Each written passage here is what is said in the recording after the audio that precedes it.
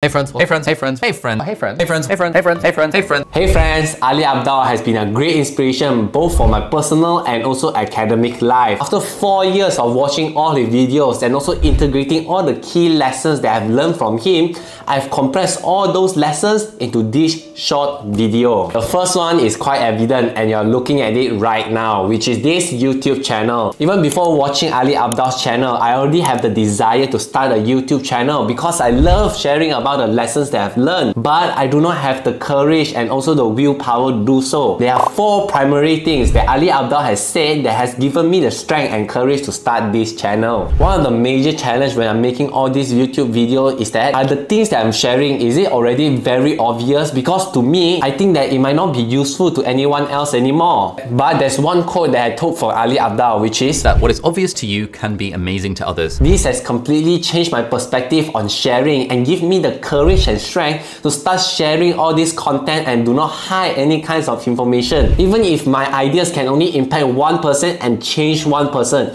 it's already very sufficient for me. Even still today, I still hold this idea very true every time I make all these YouTube videos. The other struggle that I've met with is that I should be absolutely right with my own personal opinion. But what Ali Abdaal has said that this is not true. You don't need to be an expert. We just need to share and let people judge it whether they want to believe it or not. I can just share whatever I want as long as it is my own personal opinion and to me it is correct and it is aligned with my own principle. The third challenge that I've met with before I even share any kind of content on YouTube is that I thought that I need to be perfect for my first video. The first video I'm gonna make is probably the worst one ever. But we just need to start making videos. Start pumping out videos on a regular basis and a consistent basis. What I realized after making 30 videos right until now is that the YouTube video that you're gonna produce will never be perfect. However, just try to improve and move towards the direction of making the perfect video.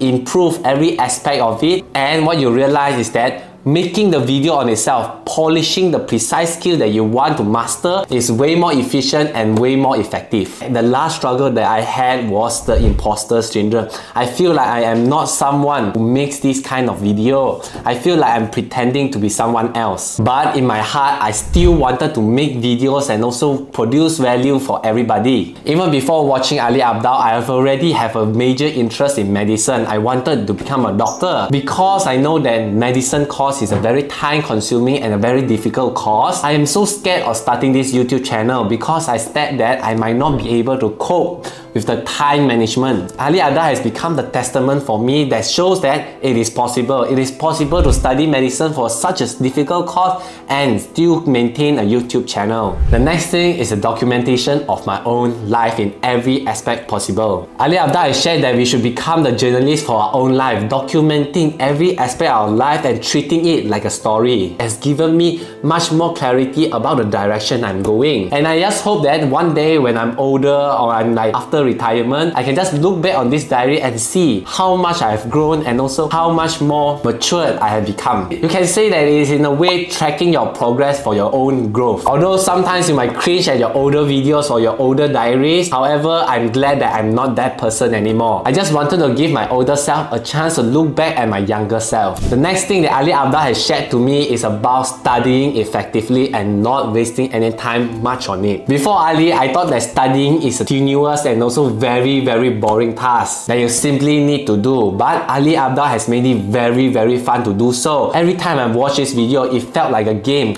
a skill that I've learned that I wanted to apply and practice in my study schedule. It made me excited to go and study more. Before watching all his video, I've been spending too much time on studying, pouring all my time I had into studying only. Put this extra time that I have on other aspect of my life, like for example my family, my social life as well as more time for games and also anime. I went from getting 30th place in my own school to just top 5 in my whole school. So it was like an incredible jump for me. It made studying and also productivity way more interesting and way more engaging to do so, which I think aligns with his new book, Feel Good Productivity. There are two major study techniques that I've learned from him, which is active recall framework, which saves me a lot of time by increasing my memory retention for all the things I've memorized, and scheduling. Scheduling is time blocking and also making my life more and more more systematic and goal-oriented. The last thing that I've learned from Ali Abdaal is the approach to life. Before Ali Abdaal, I thought that you need to struggle and also suffer in order to attain certain success or even certain goal that you want in life. What he has introduced me is that instead of struggling throughout your way to get a certain goal, just to achieve a certain goal, we should enjoy the process. The goal is to help us set a direction, to help us have clarity on the things that we want to do. You guys also see this graph is that the most dopamine is produced in the work segment, not the reward segment. So this gives a whole new meaning to enjoying the process. Since young, I personally hated the idea of reading books